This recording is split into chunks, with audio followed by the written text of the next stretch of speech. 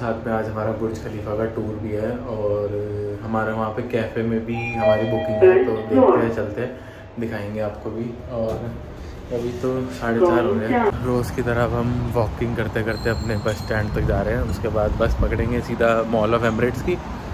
उसके बाद हम जाएँगे मेट्रो स्टेशन तक वॉकिंग करते करते।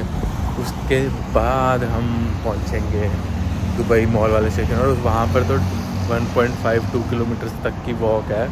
अंदर मॉल तक एंट्री करने के लिए तो बहुत बड़ी वॉक है। और हाँ सुबह हम सामने अपने जो मॉल है, वहीं पर ही गए थे थोड़ा सा शॉपिंग वॉपिंग करने। वो मैं भूल ही गया दिखाना। तो कुछ खास नहीं था, ऐसी नॉर्मल छोटी मोटी चीज़ें थी। बस तो हम बैठ चुके हैं बट आज फुल भरी हुई है। मेट्रो स्टेशन आ गया और हमारी मेट्रो भी आ गई तो सही टाइम पे पहुँचे वही मॉल वाले स्टेशन पर हम आ चुके हैं। अब यहाँ से वॉकिंग बहुत है। तो चलते हैं धीरे धीरे वॉक करते करते और देखते हैं कब तक पहुँच पाएँगे। अभी तो साढ़े पाँच हो गया पूरे। मेट्रो भी याद आ गई थी भीड़ देख के। सही है। दुबई मॉल में हमारी एंट्री तो हो चुकी है और हमें पंद्रह मिनट लगे यहाँ पहुँचने में। तो देख लो अब मेट्रो स्टेशन से अंदर ही अंदर रास्ता है पंद्रह मिनट लग गया। अब हमें एक्वेरियम ढूंढना है पहले। अब वो भी देखना पड़ेगा, उसमें भी दस पंद्रह मिनट चले जाएँगे हमारे। पहुँचते पहुँचते भी इतना बड़ा मॉल है ना, एक कोने से दूसरे कोने तक जाते जाते बहुत टाइम लग जाता है। दुबई एक्वेरियम तो हम आगे हमारे सामने है तो दिखाता हूँ आपको भी अभी। ये देखो, दुबई एक्वेरियम मस्त लग रहा है देखने में, पर भीड़ बहुत ज़्यादा है। तो बड़ा सुंदर बना रखा है यार, ये तो बहुत ही सुंदर है। वो ऊपर फिशेज जा रही है। ये है दुबई एक्वेरियम काफ़ी सुंदर है यार, मज़ेदार लग रहा है देखने में तो। और यहाँ पे वो स्नॉकलिंग का एक्सपीरियंस कितना मस्त होगा। ये ऐसे केज में छोड़ देते और शार्क्स आएगी। तो काफ़ी अच्छा एक्सपीरियंस है। तो चलते हैं अब यहाँ से आगे की तरफ़ और। जो हमने सीरीज़ में देखा ना, यहाँ से अपने आप आओ और खुद ही ले लो क्या क्या कैंडी चाहिए डालते रहो। तो ये है, वो काफ़ी मस्त लग रहा है और बहुत बढ़िया शॉप है क्यूट सी। और यहाँ खुशबू भी बड़ी अच्छी आ रही है, देखो, पूरा स्टोर है कैंडीज से भरा हुआ। मस्त है क्यूट शॉप है यार ये। मज़ा ही आया देख के तो। देखो, कितना मस्त है भाई। बच्चों के फुल मज़े हैं यहाँ पर। इतना बड़ा मॉल है कि अब हम फ़ूड कोर्ट खोज रहे हैं यहाँ पे, और हमें समझ नहीं आ रहा। तो ढूंढते हैं थोड़ा सा और, फिर देखते हैं, कुछ खाते हैं। वही फाउंटेन शो चल रहा है, और हम लेट है तो हम अभी कुछ खाने का सोच रहे हैं। और फिर नेक्स्ट शो जो होगा, वो देखेंगे आराम से, क्योंकि हर आधे घंटे में एक शो होता है। तो अभी चलते हैं, और ये लाइट शो हो रहा है उसका। बुर्ज खलीफा में तो बहुत बढ़िया लग रहा है, मज़ेदार। वाह हमेशा की तरह हम के एफ़ सी आ गए खाने ऑर्डर कर दिया वेट करते ऑर्डर लेते हैं और फिर बाहर चलेंगे आराम से और नेक्स्ट फाउंटेन शो देखेंगे, बैठ के आराम से और खाएँगे। हमारी मील आ गई है और हम बैठ चुके हैं। लेट्स सी अगर हमें कुछ दिख पाए यहाँ से तो। नहीं तो फिर आग खड़े होकर आगे चले जाएँगे थोड़ा सा। तो खाते और देखते हैं साथ साथ। तो शो तो शुरू हो चुके हैं बट यहाँ से टेंशन नहीं आ रहा। तो हम एक काम करेंगे अगला जो बाहर से देखेंगे ताकि हम आराम से देख पाए। स्पॉट तो मिल गया हमको। और ये हमारा बुर्ज खलीफा, बहुत सुंदर लग रहा है। लाइट शो है जो शुरू हो चुका है, भाई, कितना गजब लग रहा है।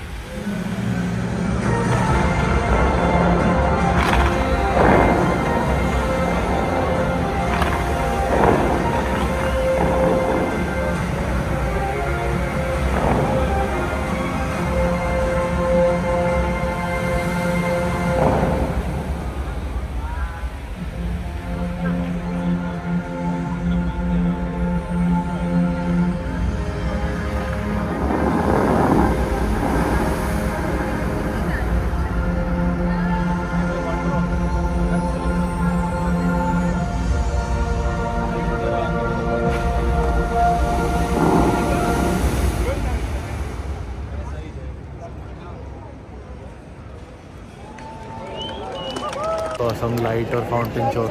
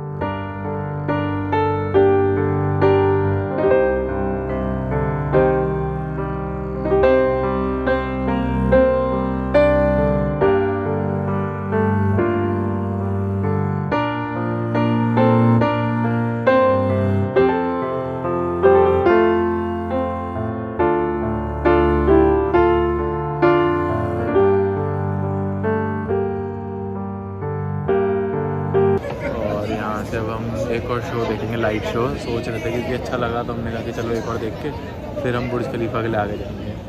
तो अभी मैं वॉशरूम गया था तो ग्राउंड फ्लोर जो लोअर ग्राउंड है जहाँ पे फाउंटेन शो वगैरह होता है, जहाँ से एंट्री है तो वहाँ वॉशरूम में लाइनें लगी हुई है। दो दो, तीन तीन मिनट वेट करने के बाद आपका नंबर आएगा, क्योंकि ग्राउंड लोअर ग्राउंड है ना तो सारे फाउंटेन शो लाइट शो सब कुछ यही से ही कनेक्टेड है तो इसलिए इस वॉशरूम में इतनी भीड़ है।